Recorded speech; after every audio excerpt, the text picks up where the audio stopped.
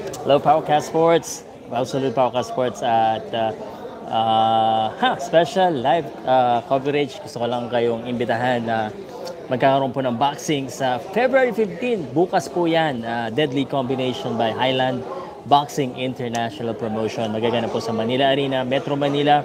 At uh, medyo maaga itong boxing event na to. 2.30 boxing start. Sa, malapit po to sa Santa Ana.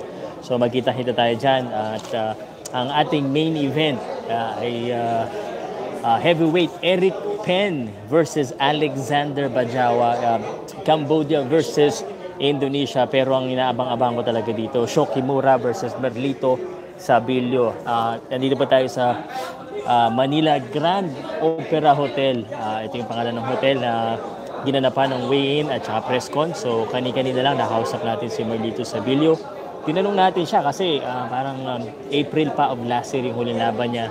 Tapos tatlong sunod-sunod na talo. So parang tinanong natin siya kung um, bakit mo naisipan bumalik sa boxing. Sabi niya kailangan lang talaga din ng pera pero gusto pa talaga ng puso niya mag-boxing.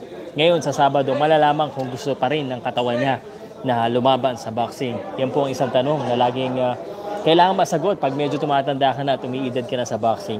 Mga kalaban niya po from Japan, Saitama Japan, Sho Kimura, isang malupit na laban nito. Uh, 18 wins, 11 KO. At uh, Sho Kimura, 31 years old. 36 years old itong si Merlito from Bacolod. So, again, Manila Arena. Ito pa yung mga maglalaban dyan. Meron pa tayong uh, uh, apat na championship. Uh, ABF Middleweight Championship, Prabjot Singh in India na taga Philippines may kawayan Bulacan ang kalaban niya si Mark Sales at um, TDH from Vietnam, Tru Din Wong uh, against Yutanda Wongda at uh, si Hee Jun Yu at si Kanyanat Chochun. Pakita ko lang sa inyo yung picture ni ano ha. Ito po yung sa labas, nakikita natin. Ito yung uh, lalaban bukas oh. Uh, ni ate. So abangan ko yan. Sayang naman na ipagbakbakan siya. But this was the venue for the press conference and the weigh-in. Wala naman naging problema. Everyone made weight. So abangan natin ulit uh, February 15, Saturday, 2.30 p.m. Abangan nyo na yan. Ito yung mga laban. Di ko alam kung nababasa nyo. Pero uh, kakaiba ito kasi labing lima. Ito, may kumukuha pa sa akin ha. Alright, Pau Salute again. Paucast Sports giving you exclusive coverage of local boxing in the Philippines. Uh, Siyempre, mismong pumupunta tayo at ang kino-cover natin hindi lang sikat, pati yung mga gustong sumikat at uh, laking pasalamat ko rin kay Brico Santig for inviting me as one of the hosts and the announcer for this event. Um, may mga magaganda rin laban sa undercard gaya ni Ali Laurel na isang WBO uh, Oriental champion. So he will be fighting on the card. Itong si Brian Tamayo na isang vlogger boxer. Tingnan natin kung anong uh, papalag niya. Marami. Richard Claveras will be fighting. Banggitin ko na kung sino yung mga maglalaban baka kilala nyo. Kung kilala nyo, taas nyo na yung kamay nyo. At uh, kung may mga shoutout kayo, shoutout na natin. So, may, merong uh, tatlong amateur bouts. And uh, first, Jose Roda Jr. and Alvin Bais. Nakapanood ko na ito sa sa Naga. So, maganda itong laban na ito. Uh, Eugene Yong, kanya na, uh, hindi pala yan. Dito muna tayo sa mga undercard. Ali Laurel, June Eraham, kapag kalaban po. Si Elmer Zamora, Justin Espeo, mga, ito, tagalasal ito. And then Brian Tamayo, Kier Clinton Espere, and uh, Sujin Kwak, Dennis Padua, Romer Pinili, Dexter Eraya. Ayan po yung mga magkalaban. Uh, parang taga-kibors isa. And then Aston Panit, Renz Rivera, Ador Torres versus Benji Suganov, magkalaban Jason Bison versus uh, Jeboy Mansalayo, Hutuan Lee, Benjamin Bartolome, Richard Claveras, tsaka Richard Rosales. Ito rin isa sa inaabangan ko. And then of course, the main card. Uh, yung mga main card, papakita ko na sa inyo. Para hindi ko na kailangan itong kopyahan ito. At uh, tapusan na natin. Basta, uh, magkita-kita tayo ha. Sino ba yung manonood?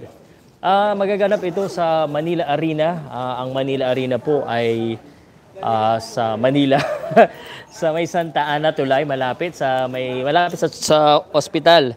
Bagong-bago ito kaya puntahan nyo. Uh, dito lumaban yung uh, huling laban ni Carl James Martin. Dito po yung naganap. So, sana magkita-kita tayo. Papakita ko lang sa inyo ha. Shout out Live Print TV. Salamat po sa panonood sa mukha ko na sana hindi kayo nagsasawa. Ito again ha. Panoodin nyo ito ha. Ang uh, main event Yan oh. Bajawa versus Pen. Flyweight, uh, I mean, heavyweight championship. Si Chot Chun Hee. Yan. Si Kimura at saka si Sabilio.